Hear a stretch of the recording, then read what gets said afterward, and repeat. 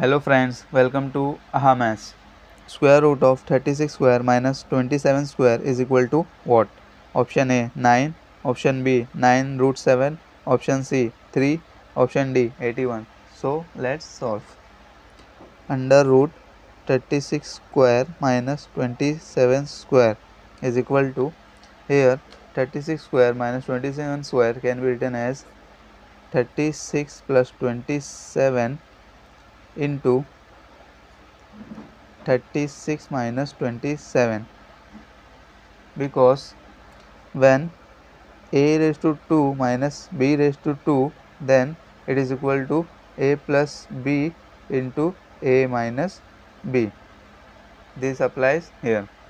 Now it will be equal to under root of 63 into under root of 9 which is equal to 63 can be written as 7 into 9 into 9 which is equal to under root of 7 into 9 raised to 2 so here we will take 9 square out of the square root.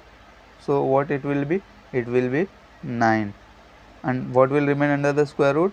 7 so 9 square root 7 is our right answer. Option b is our right answer. If you like my video subscribe to my channel. Thank you